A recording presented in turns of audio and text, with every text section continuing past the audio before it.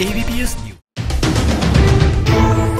संभल जनपद की चंदोसी कोतवाली क्षेत्र के घटिया गेट निवासी, आठ वर्षीय बालक संभल रोड पर अमीमगंज गाँव के पास बने। स्विमिंग पूल में अपने दोस्तों के साथ नहाने गया था, लेकिन बहुत देर तक लौटकर नहीं आया। जिसके बाद परिजनों ने उसकी तलाश की तो उसका शव सड़क के किनारे मिला, जिससे अंदाज़ा लगाया जा रहा है कि किसी अज्ञात वाहन की चपेट में आकर बालक की मौत हुई है। जिसके बाद पुलिस ने मौके पर पहुंचकर शव को कब्जे में लेकर पोस्टमार्टम के लिए भेज दिया है। घटना की असली हकीकत तो बच्चों के दोस्तों से बात करने के बाद ही साफ़ हो पाएगी। सर अजीमगंज के पास आठ साल के बच्चे का तो शव बरामद हुआ है बॉडी मिली है। क्या है पूरा मामला?